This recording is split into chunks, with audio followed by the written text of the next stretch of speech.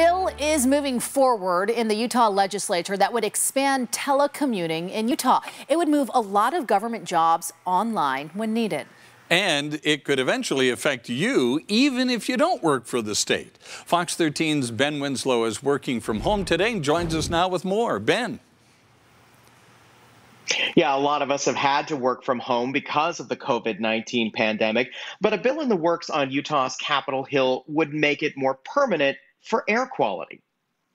We've all now seen the effectiveness that can be had for teleworking. In some places it works, and some places it really doesn't.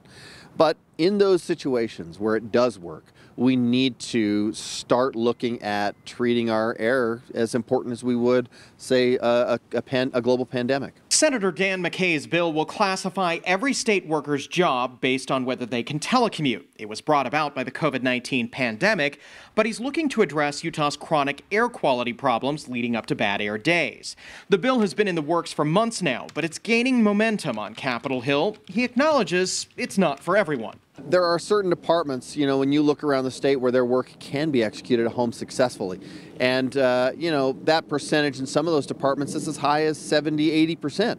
And then in other departments, it's, you know, it's as low as 20 to 30%. But it could be a boost to rural communities. For example, the eastern Utah city of Price has really leaned into remote working. They created a co working space for remote workers and pivoted to remote working when COVID 19 hit. We really uh, tried to help our employees remote work when they can.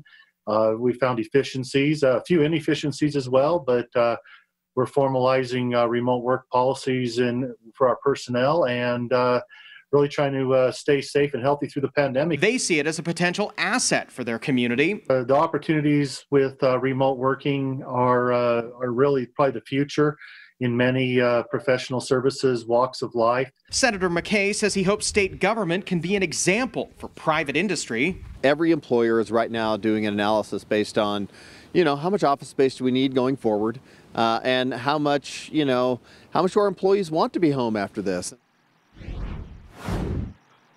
Now, one thing being considered is legislation that would expand broadband internet access across the state. That'll be certainly critical. Senator McCay's bill is expected to be heard before an interim legislative committee hearing tomorrow, and it is expected to be fast tracked for the legislative session that begins in 2021.